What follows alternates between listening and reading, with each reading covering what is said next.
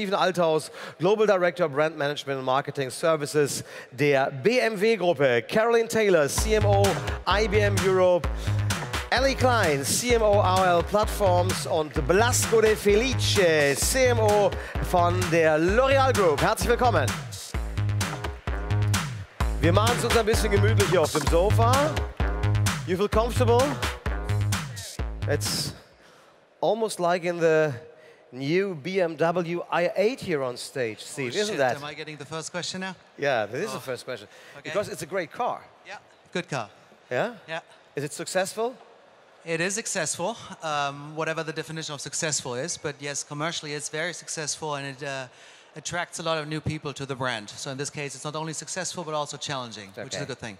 Because I want to give you the opportunity, because we're talking about advertising, about marketing, just do something for yourself and your company.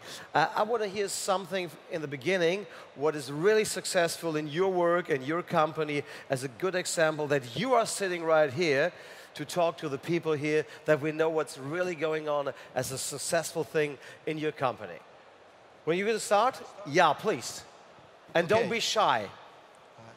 I, I, don't be shy. I talk about makeup and beauty, so I'm not going to be shy. Um, now, what I'd like to present is actually, since you give me the opportunity, is one revolutionary application that we launched in May at the Cannes Film Festival, which is called Makeup Genius. And uh, Makeup Genius is an application that allows consumers, mostly women, to try makeup on their face and uh, any type of product from L'Oreal Paris or looks from the stars.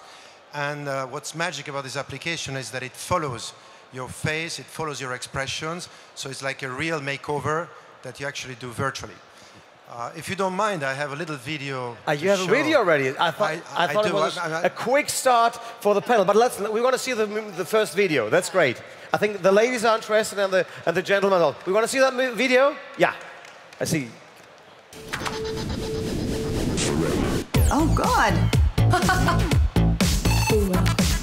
oh my God, that is so bloody cool.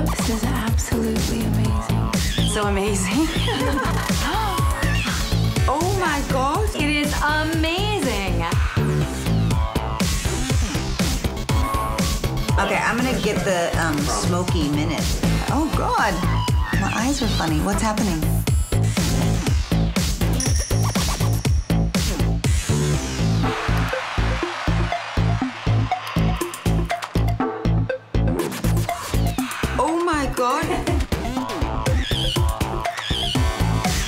Want to put color rich les ombres. Wow! the French version is available today, yeah, so you can download it.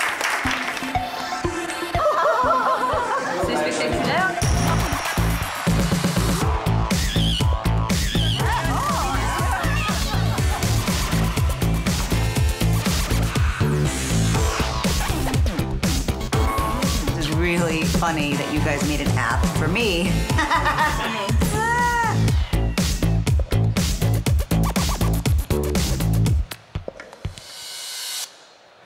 So we learned five words. Oh my God! Oh my wow, God! And amazing. It's a good. It's a good answer. Yeah. No. Tell us it's something more about that.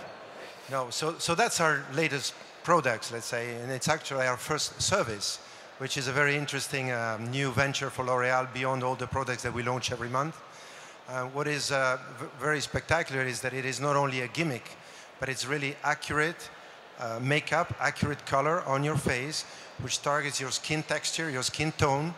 At the same time, it applies exactly the same product and the same result of the, of the product you choose on your face. And the and reactions are always like that, I'm sure. Uh, so far, we have 1.5 million reactions like that. And we think we're going to have 10 million by the end of the year, yes. Okay. So talking about what's going on in your company right now. Uh, so at AOL, mine is not um, kind of like lipstick on a pig a little, but not, uh, no. Um, we are, our world is more B2B focused and focused on advertising and technology right now. And I think what we would say as a team we're most proud of is the fact that in less than a year, we have grown revenue driven from automation uh, from 4% to 34%, which is a pretty um, symbolic movement in the industry and in media of the shift from the way we used to do things to the way data and machines are unlocking marketing. And so uh, we're extremely proud of our leadership there. Well, um, everything in IBM now and going forward is all about data, big data. It's all about in the cloud, and it's all about engagement. You know, customer engagement with our customers, with your customers. So actually, I'd quite like to show a little film because we have a fabulous Yeah. client. Yeah. They're called Wimbledon. They're the All England Lawn Tennis Club in Wimbledon. We've just finished the US Open, of course, in the States uh, last Monday. And, um, and this just shows what a really old, old traditional brand that only actually is relevant to most people for two weeks of the year can do with digital. That's, I think, a great movie we have to see. Ladies and gentlemen, we invite you with IBM to Wimbledon.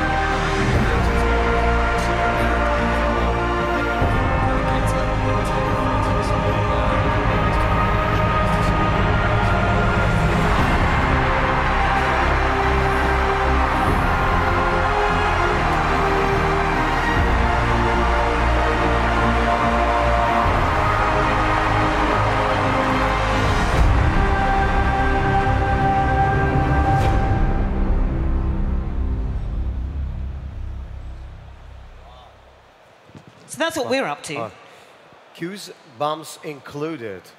Great music, by the way, also.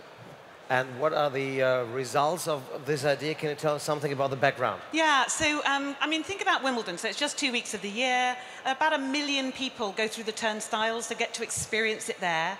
Wimbledon, the club, they have this, uh, this overriding thought that they have to deliver the next best thing to being there for everybody else. So they have tens of millions of people around the world who are really engaged now digitally, remotely, through their mobile, through the TV, through the web. Um, and, and because what they can deliver up is, you know, deep analytics um, and insight on what's going on in the match, so they turn every one of us into a commentator. Um, you know, it's, it's an incredible experience. They have some amazing uh, social media analytics, which actually help the broadcasters and the journalists to report and to pick up on the things that are exciting the fans way beyond just what's exactly happening on the courts. Um, so uh, for us, what it does is it really shows the power of digital to completely transform a brand and transform, I mean, as I say, with Wimbledon, it's the fan experience, but for the rest of us, it's customer experience. So from the big um, three IBM letters to BMW, what's going on in your world? Well, first of all, I don't have a video, so sorry. So I count on you guys. Maybe Yeah. there are some stories and some customers out there So also, bring also pictures in our welcome heads. Mini, etc. So this is all fine.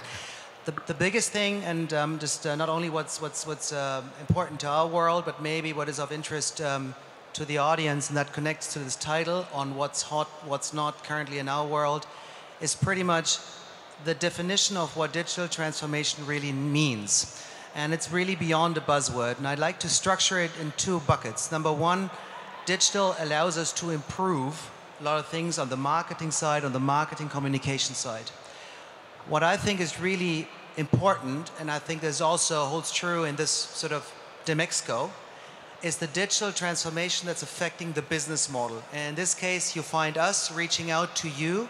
May you be agencies, may you be research companies, may you be app programmers, may you be providers, whoever you are, to partner with us sort of on this journey partnership. Because no one has done this before, and it's okay not to know. So it's an attitude thing of, you know, having experience of actually finding out together. And what you just shown on L'Oreal what you just shown on IBM is actually something that has not been done before. And it's okay that you have not done before, but it requires a certain partnership with some people who are curious enough and who want to find out together with you. And with i3, we're doing things for the very first time ourselves. And we're not standing there and we can say, we've done this 50,000 times, but we're actually finding out how modern mobility works in the future. And that requires a different approach. And that's why I'm reaching out to a great number of great minds who are out there in the audience to help us on this journey partnership. So you are asking for some kind of help as somebody who comes, just to, to sorry for saying that, but from the old economy. Is uh, BMW still old economy or is it new economy? Is it something in between? What is it? Um, I'm, I'm not too much about you know buzzwords, old economy, new economy. I just see the writing on the wall with respect to what are the requirements for modern mobility. If you talk to a mayor at any city, may the small or big or whatever, or mega city, mobility is of essence. And I think we need to raise our game and actually to provide those sort of solutions and give answers for questions to come. In this case, we're definitely not old economy. We've got highly aspirational products. Our brand is very much about sheer driving pleasure, but we need to protect it and constantly raise our game and constantly need to keep up and actually provide this driving pleasure. And that's why we're driven and we're co-creating this future together. So we're not just asking for help. I'm just basically I'm inviting everyone for an amazing ride. For a cooperation for, yeah, well, for a journey partnership, for a corporation. And let's not just be agency focused. We cannot delegate such things to agencies. We drive this transformational change. Our competition is driving this transformational change, and we look for individuals that go beyond buzzwords. There are a lot of people from agencies right here. Which is cool. Do you agree? Do you disagree? Well, I, I do agree. I think we are, uh, everyone in its own field and territory operations, we are all on the same journey. It's a journey that started relatively recently and it still has a long way to go. And, uh, and I think it's a journey which is, uh, which is creating an amazing transformation of everything inside the company. We are, we are undergoing a major transformation of our organization. We are undergoing a major shift of our investments from where they used to be to where they are going to be in the future. Uh, and we are having uh, a major change in our infrastructure of technology. Our content development is changing a lot. We used to be the number one producer of advertisements. We still do produce a lot of ads, and we will produce a lot of ads. But we have to complement that with so much more content, which goes on different platforms and looks completely different from advertising. So that creates a, a, a big complexity and a, bit, and a continuous shift inside the company, which is the big challenge. And we know it's a never-ending process that will go on and on. So I have probably living the same challenges that uh, uh, our colleague is living, but uh, in a completely different territory with uh, celebrities and lipsticks and mascaras and skin creams. How big is this complexity? Uh, is it sometimes maybe, Allie, too big? Is it a little bit of confusion also if you look around here? Uh, I absolutely, I mean, change is hard no matter what environment you're in, right? And uh, from a media and a marketing perspective, uh, as Stephen points out, we're going through the biggest change and transformation that marketing or advertising has ever seen. And so while the roles may be different that a brand might play today or that an agency might play today, the openness with which we collaborate together, I think, is what's that the people we see most successful, the brands and agencies and even content owners, um, many that are within our family and many that are clients of ours that are most successful, are those that are embracing, you know, a very tried foundational belief that ideas can come from anywhere, uh, any data source, any partnership, um, and uh, the notion of expecting the unexpected when it comes to our consumers, our clients, and marketing is probably the most foundational principle of success today, we would say. Excuse me for focusing on the buzzword, Stephen, but one buzzword is, of course, big data, ladies and gentlemen. And let me ask this question. You never had more data from your customers than you have uh, right now. Um, is the buzzword big data, is it more than you can process or is it just marketing heaven? It's marketing heaven. Um, I think the latest data point I read about IBM is that something like 120 terabytes of data flows through our company every day. Um, and we're processing it, we're analyzing it, we're drawing insight from it, and we're using it um, every step of the way from research and development, you know, all the way through to our marketing. Um, so I think it is marketing heaven, and I think that people, uh, some organizations, some people find it a little scary. Um, because with that comes an extraordinary transparency. You know, there is so much information, so much data around. Um, and, you know, we can either embrace it or we can be scared of it. And I, I strongly recommend embracing it. But, I, but I'd just like to pick up on something Stephen said, which is this point on co-creation.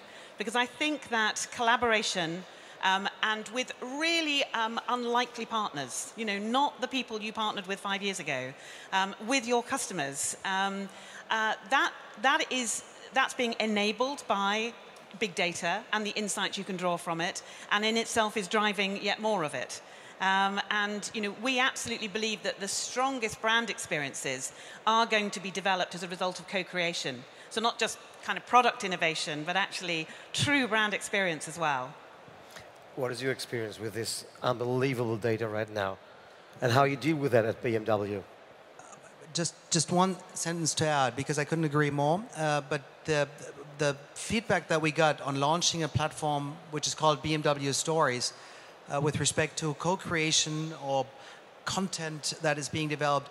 I mean, our customers outnumber our communication performance by about 50 to 1 because they share all kinds of data, wherever this might be, uh, from photos to stories to, to, to any kind of content it is very important to contact them and use modern technology to reach out and to connect with them and to benefit from them because they're writing the greatest stories out there. And, and that is something that says much more about the brand, which has much more to do with not only customer insights or great ads, but real stories that are really, really involving and really relevant also to others. So in this case, it's really truth well told.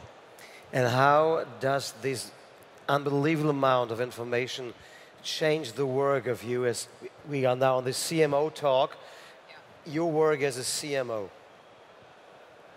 Uh, in, in a day-to-day work, uh, but well, it has to do with. Um, I think you need to be structured, and you need to be um, you need to be surrounded by people who can give you very good advice. I don't just mean agencies, but certain individuals where you really listen in. One great reservoir, of course, are customers. I mean, they talk. The question oftentimes is, are we listening good enough? So that's one major reservoir. You can easily go bananas with all the data that's basically out there. But in this case, it requires a very structured approach. So listening to customers is of essence. Second, understand technology to be able to separate what is a buzzword and what is really, you know, what's, what's really in essence, what, what has a real value, a real benefit. And I think we have to make those decisions on what's relevant and it's not. And it's not something that is gut feeling driven, but also requires good advice from people around you, from your team, and way beyond marketing. Because I think that's another point, and that's what we have to do, sort of on the CMO side, that we, in our job, um, and I promise to say this, it's not only great to be in marketing, but it's also great to be alive these days, um, is to act actively reach out and not have silo approaches from marketing, but to really reach out to IT, reach out HR, reach out sales. We need to align internally to not come up with silo solutions that might benefit sort of the silo approach of marketing or HR, but in this case, it's really a holistic approach. And that is something that the companies, and the big companies, have to do. Subsequently, the briefing gets better as well. What does it mean to your daily work? Yeah, I think uh, breaking down silos is such a powerful uh, tenet today, uh, not only between the CMO and the CTO, but between, um, I mean, every aspect of the business. And data is the great democratizer and neutralizer of that. Uh, additionally, I think data really for us creates transparency between screens, right? So we've really stopped looking at the relationship with the consumer through am I talking, am I showing them something on television? Am I showing them something on a mobile device, on a tablet, on their desktop? Rather than am I showing them what they're interested from us in what relationship mindset they're in at this point with us? So it really allows us to respond to the relationship um, that they're setting, right, on their terms versus ours. Um,